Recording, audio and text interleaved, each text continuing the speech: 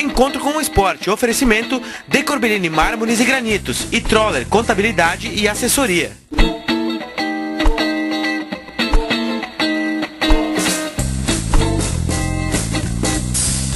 Olá pessoal, estamos aí de novo, mais um encontro com o esporte. Hoje, quinta-feira, dia daquele tradicional bate-papo com alguém da imprensa esportiva daqui da região. E hoje a gente não pode dizer alguém, que o nosso convidado ilustre faz jus aos nomes, grandes nomes que têm comparecido aqui à nossa bancada. Alexandre dos Santos, do Grupo Encantado. Seja muito bem-vindo, Alexandre. Tá certo, um grande abraço a todos. É um Pois prazer é. participar aqui com vocês. Pois é, né, Gasparotto? Outro cara que a gente insistiu para ter aqui hoje está aqui na nossa bancada, né? É, a gente que conhece o Alexandre dos Santos aí de, de tempos, dos gramados, das quadras de, de futsal aí. É, é um cara que tem bastante conhecimento do meio esportivo, do que está acontecendo no dia a dia aqui da nossa região. E vamos para um, um grande bate-papo aí com o Alexandre.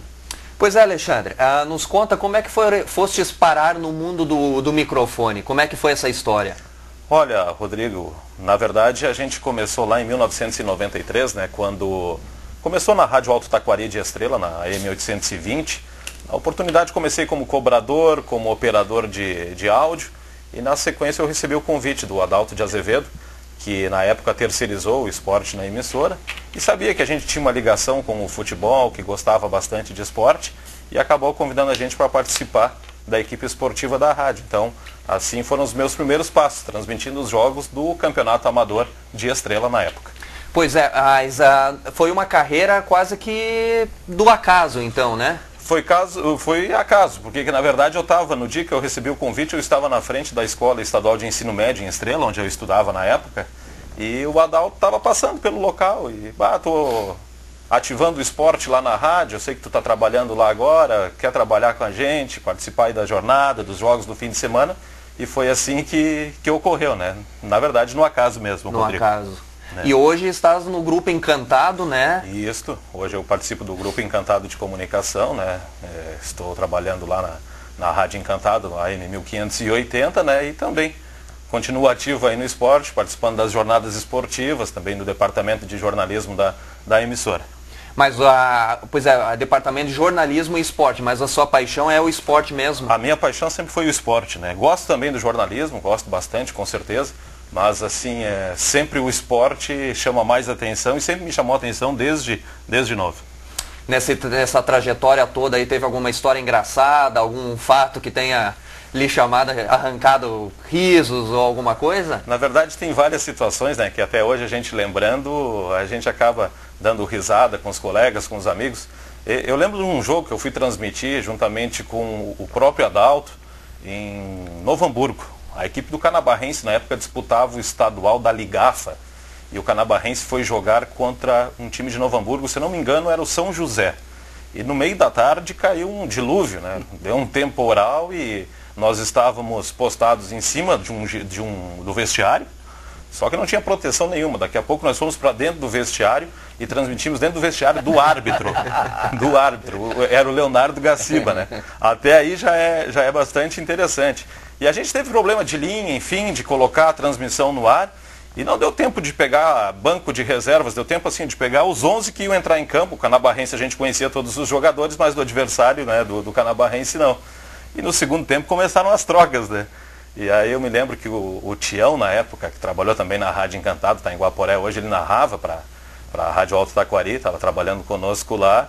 Eh, começou a trocar, ele olhava para mim, quem é, quem é que tinha entrado, né? E aí eu fiz para ele, que eu não sabia, não, não tinha o banco de reservas.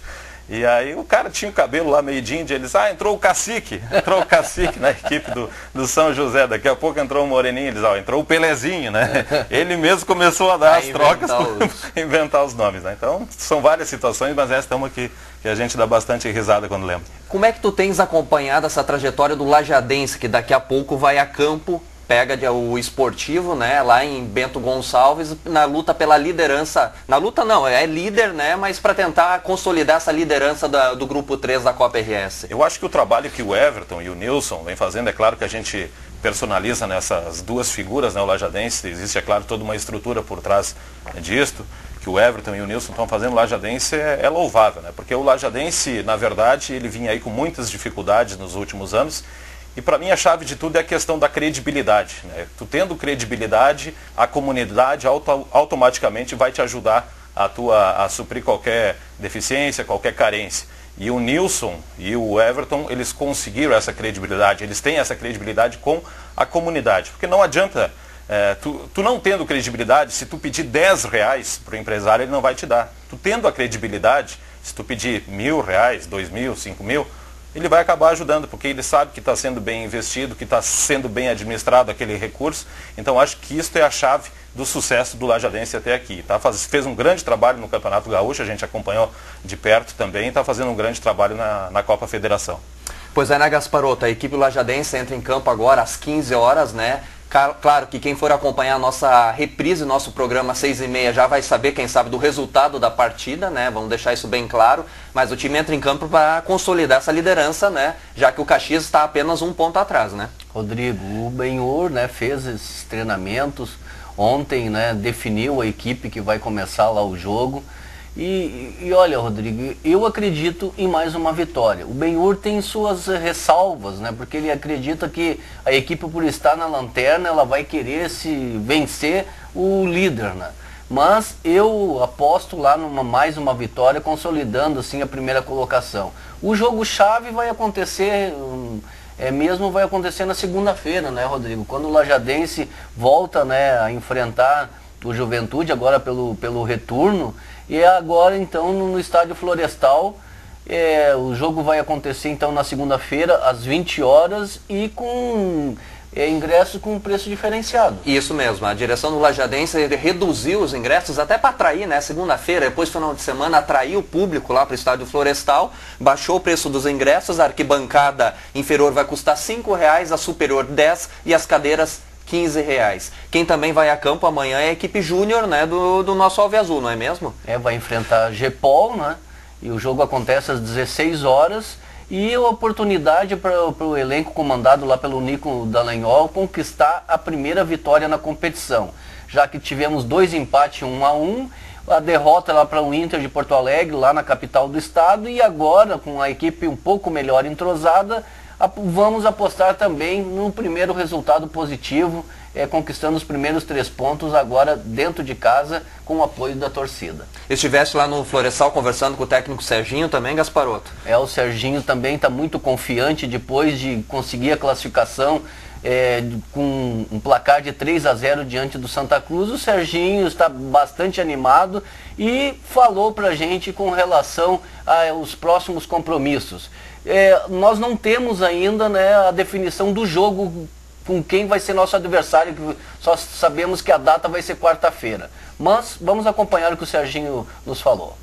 Classificação garantida para a próxima fase, uma vitória de 3 a 0 diante do Santa Cruz. A equipe se comportou bem e agora é pensar na próxima fase. Essa fase passou, a equipe está de parabéns. Os meninos colocaram em prática aquilo que nós temos pedido nesses 40 dias de trabalho. Temos uma equipe agora homogênea, trabalhando, pensando já na próxima fase. Eu espero que nessa segunda fase agora eles mantenham a postura e o normal é acréscimo. E se esse acréscimo acontecer positivamente, nós temos tudo para entrarmos já numa outra próxima fase. Serginho, o estadual juvenil a gente sabe que é uma competição assim onde os meninos são revelados. Aqui nós montamos um grupo agora, né, para essa competição, Serginho à frente do comando. É, o que pode melhorar dentro desse grupo ainda? Muito, até porque 40 dias são muito pouco, Gasparoto, para trabalhar com jovens.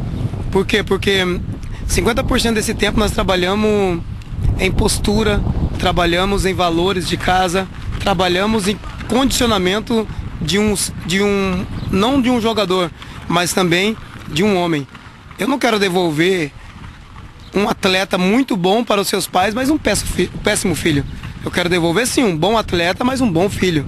É por isso que nós estamos proibindo algumas coisas. Não dá para treinar de piercing, não dá para treinar de corrente, não dá para treinar de outras coisas que vai trazer um mau exemplo no futuro para esses atletas que são hoje garotos, então tem que seguir bons exemplos e não maus.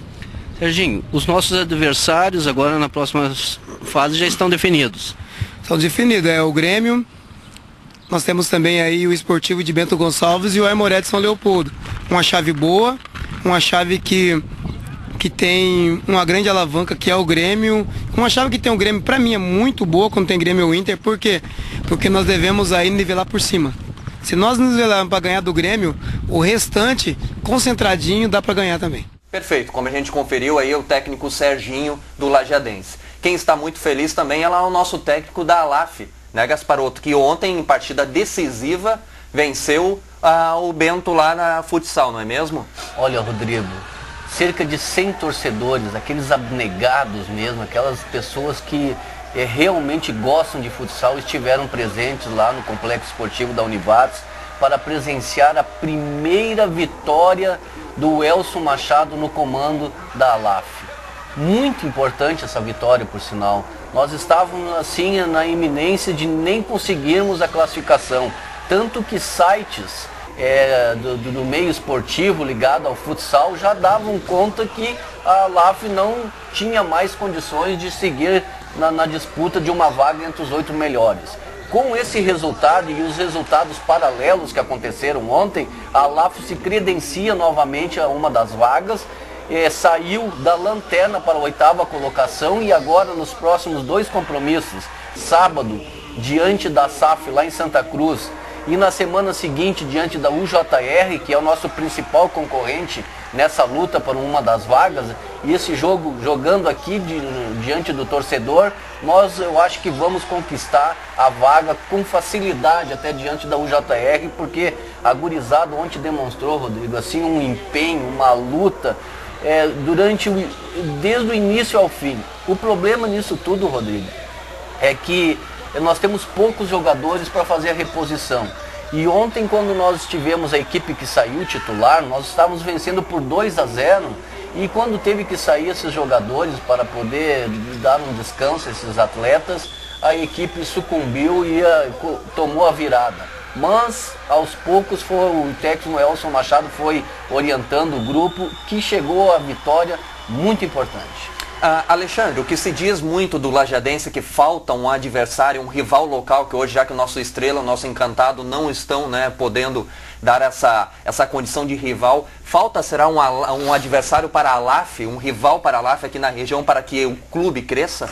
Eu acho que sim, acho que isso acaba fomentando o esporte como um todo na região. E aí tu tem uma referência né, mais forte em, em relação a, a adversário, e aí tu consegue te preparar melhor, dizer, ah, o time A está se preparando de tal forma, contratou tal jogador, tu começa a ter aquela referência de querer fazer um time melhor que o adversário e aí com certeza isso poderia de alguma forma colaborar. Acho que tem essa carência aí na nossa região em relação a um adversário mais qualificado para a LAF. Mas a concorrência com esportes como o basquete, como agora com o basquete, o vôlei também está convindo com força, futebol regional, lajadense é também um inimigo para a LAF, não é mesmo? Ah, com certeza, né? Que hoje são muitas, são muitas opções, né? Tem o basquete que está muito forte, sempre está é, é, tá muito vivo, não só na, na, em Lajeado, mas em toda a região, porque chama a atenção aí em todo o Vale do Taquari, e isto todo mundo acaba captando uma fatia, né? E aí o cara não vai sair todo dia, um dia para ver basquete, um dia para ver futsal, ele acaba optando entre um ou outro, né? Perfeito. Ah, Alexandre, a gente vai para um rápido intervalo. Você pode tomar sua água da pedra e o Gasparoto hoje vão ficar com fruquito uva aí, tá? A gente re recupera o fôlego durante o intervalo aí, mas daqui a um pouco a gente está de volta com o nosso segundo bloco do Encontro com o Esporte.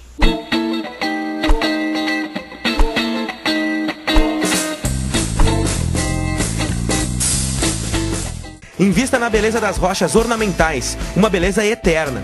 Decorbellini Mármores e Granitos traz para você uma infinidade de opções na hora de construir ou reformar o seu espaço. Seja na sua residência ou escritório, sempre a certeza de qualidade, fino acabamento e bom gosto. Decorbellini Mármores e Granitos, enlajeado na RS 130 km 71. Alimentos fresquinhos, direto do campo para a sua mesa. Confira os horários e locais da Feira do Produtor Rural de Lajeado. Sua saúde e seu bolso agradecem. É o governo de Lajeado incentivando a agricultura familiar e contribuindo para trazer saúde à mesa dos lajeadenses. Governo de Lajeado, compromisso com a comunidade. A felicidade e o futuro do seu filho está aqui. Colégio Melinho, número 1 um do Enem Vale do Taquari. Matrículas abertas. Educação infantil. Ensino fundamental e médio. Totalmente apostilados. Dê um presente para o seu filho. O futuro. Colégio Melinho. Em Lajeado.